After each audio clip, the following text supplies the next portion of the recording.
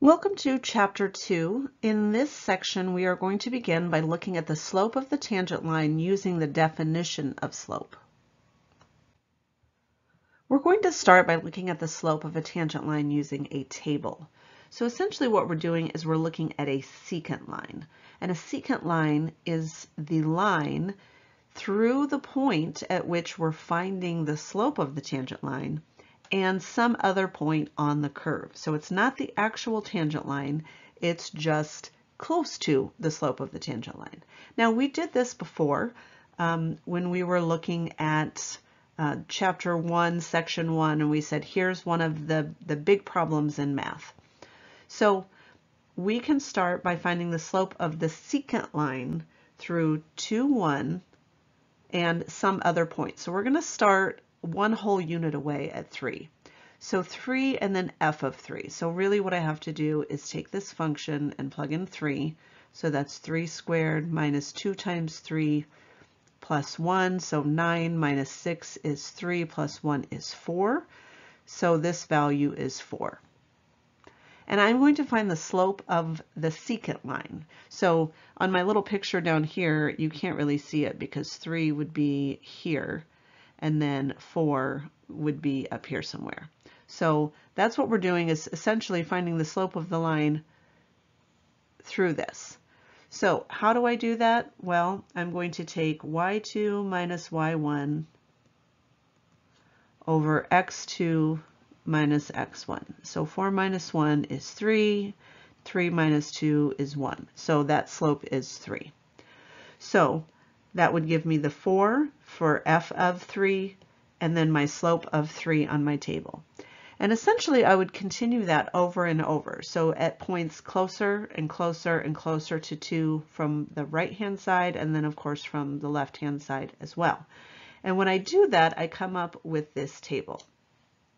So what do I think is the actual slope of the tangent line at 2, 1? Well, if I'm looking at slope, these are the two values closest to 2, 2.01 and 1.99, and their slopes are closest to 2. So it appears that at x equals 2, the slope of the tangent line is 2. But again, that's just an approximation, so we want to be a little bit more precise. Just like you, making a table to me seems silly and a waste of my mathematical abilities and talents and time.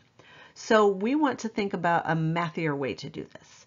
So before I take you through how to do this using the slope formula, let's make sure we understand what we're doing. So here's my picture, and this is going to be, be the point C in all of this. So this is the point at which I'm trying to find the slope. And then there's going to be some delta x. Delta x just means change in x. So how far away from x am I going to be?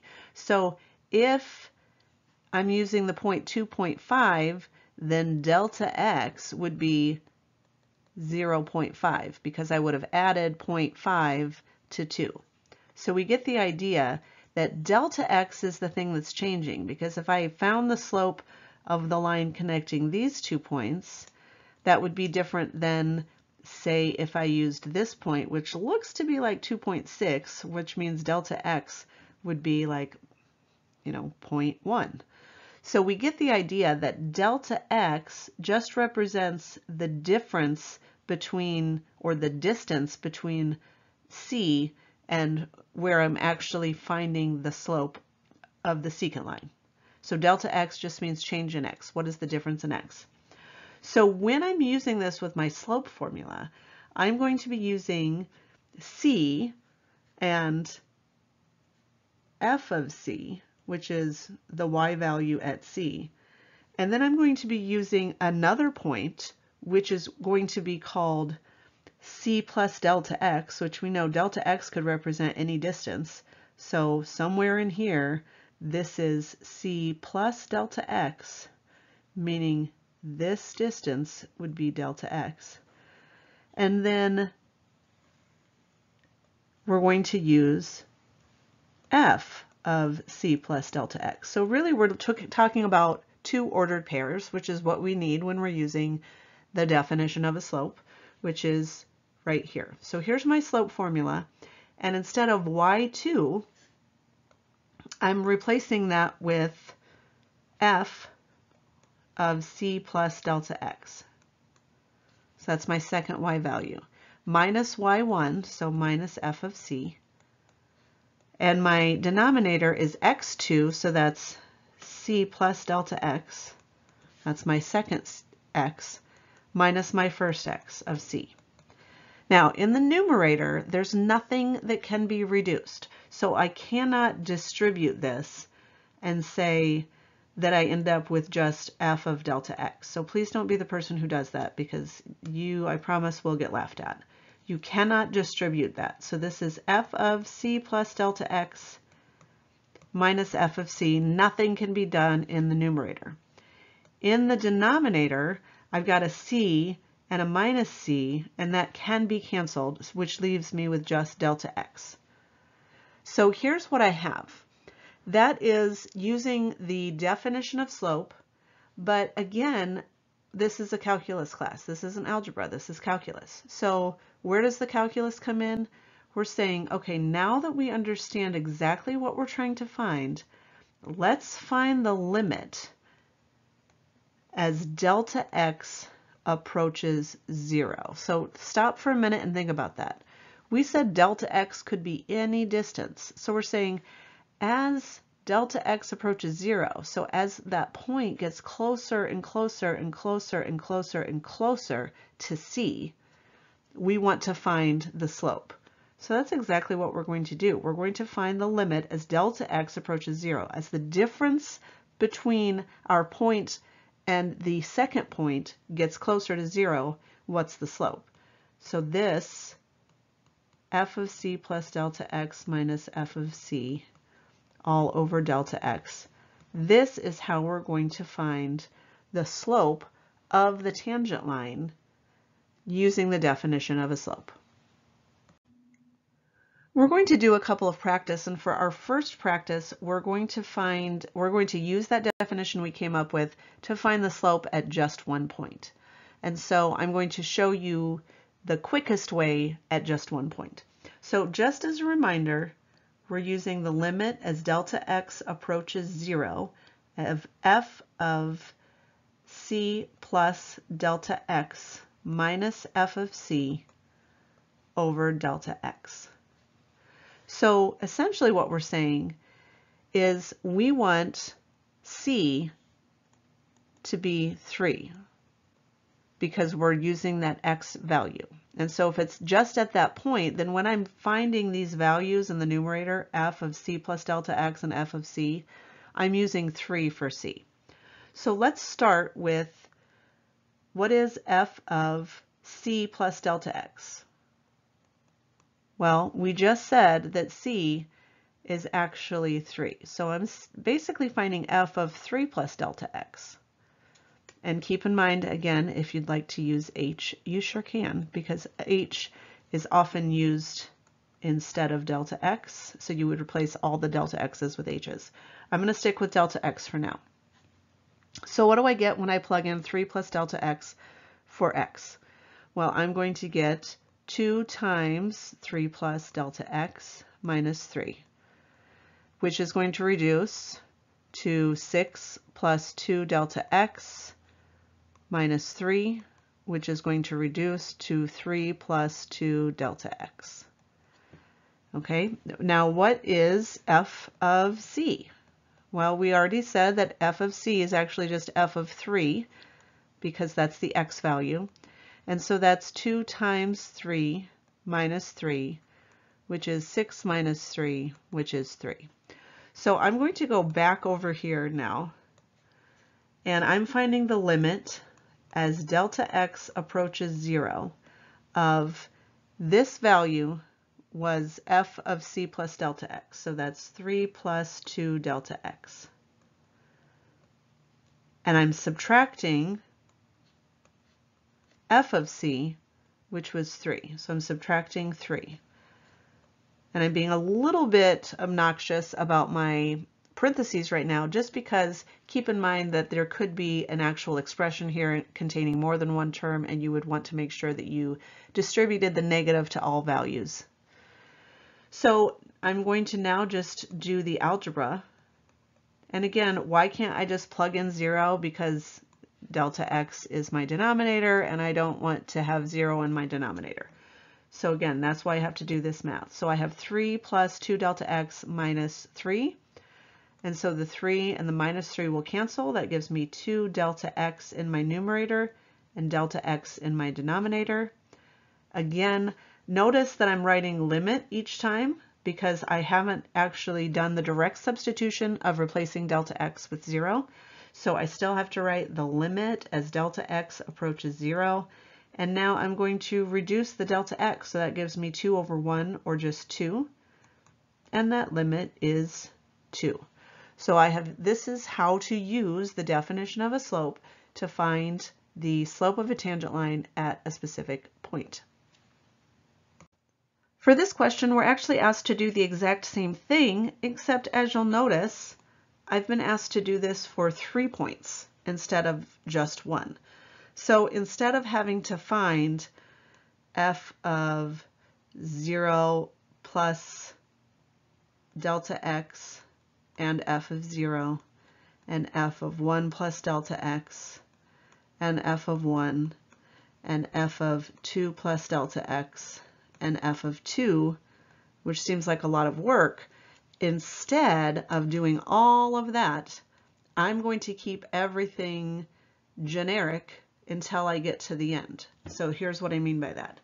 Keep in mind, I am finding the limit as delta x approaches zero, or again, as we get closer and closer to the point C of f of c plus delta x minus f of c over delta x. So how am I going to keep it generic? Instead of finding f of 0 and 1 and 2 plus delta x, I'm going to find f of c plus delta x. So that means c plus delta x quantity squared minus 1, and I'm going to do the math here. So that's c times c. So again, think of this as me writing it out twice. I guess I hope we remember that. c plus delta x times c plus delta x. And we're going to FOIL it. So I get c squared plus 2c delta x plus delta x squared. And then minus 1. And so that is the entire expression that represents f of c plus delta x. And then if we're using f of c, well, that's just c squared minus 1. So as I come back over here to find the slope, again, the limit as delta x approaches 0 of c squared plus 2c delta x plus delta x squared minus 1 minus c squared minus 1. So again, using that parenthesis reminds me I'm subtracting c squared and subtracting minus 1 over delta x. So now again, I'm just doing algebra until I can make sense, a little more sense of what I have. So I'm going to go ahead and call this plus and make this negative and make this positive. So the c squared and the negative c squared will cancel. And the minus 1 and the now plus 1 will cancel. So what I have left in my numerator is 2c delta x plus delta x squared divided by delta x. And I can just reduce out that delta x. So think about taking a delta x out of all of the terms in the numerator. So that gives me the limit as delta x approaches zero. And if you need to go ahead and rewrite it, limit as delta x approaches zero of delta x being factored out, giving me 2c plus delta x. I can certainly do it that way, or you can do that in your head. I'm just sort of over showing work so that we understand exactly what's happening. But this gives me 2c plus delta x, And now I can find the limit as delta x approaches 0. So that's going to give me 2c, and then this is essentially 0, so 2c plus 0 or 2c. So my limit is 2c. Now, does that help me yet to determine the slope at each of these points? Well, now I can determine it quite easily because I can find when x is equal to 0, I'm going to get 2 times 0, which is 0. And when x is equal to 1, I'm going to get 2 times 1, because again, it's just 2 times c. So c is 1, or x is 1. And that gives me 2. And when x is equal to 2, that gives me 2 times 2, or 4. So this gives me the slope of the tangent line at all of those points because I kept everything general and kept the c in the equation. Before we finish up, here's one of those for you to try. So I'd like you to press pause and try this question. When you're ready, press play to see how you did. So I'm going to do this question again. This time I'm going to use h approaches zero, um, just because some people prefer it that way. So h approaches zero of f of c plus h minus f of c over h is essentially what we're doing. And so what is again, I'm going to keep writing the limit until I plug in 0 for h. So the limit as h approaches 0, and then f of c plus h. So again, I'm finding it for two points, so I'm not going to use 2 or 3. I'm going to use um, c. So that's 2 times c plus h quantity squared minus 5. And then I'm subtracting f of c. So 2c squared minus 5 all over h. Again, the limit as h approaches 0. I have to do the math up here. So notice before I was doing some extra work over here. Um, this is typically the way I do it. I just do it all in the equation. So that gives me 2 times c squared plus 2ch plus h squared minus 5 minus 2c squared plus 5 over h. These 5's I know cancel, and this 2c squared will cancel with the minus 2c squared. So that leaves me with the limit as h approaches 0 of 4ch plus 2h squared over h I'm going to divide out the h, so that's the limit as h approaches 0 of 4c plus 2h. And that limit, when I plug h in, 0 in for h, gives me 4c. So now to finally answer my question, I'm going to let x equal 2, and that gives me 4 times 2, or 8.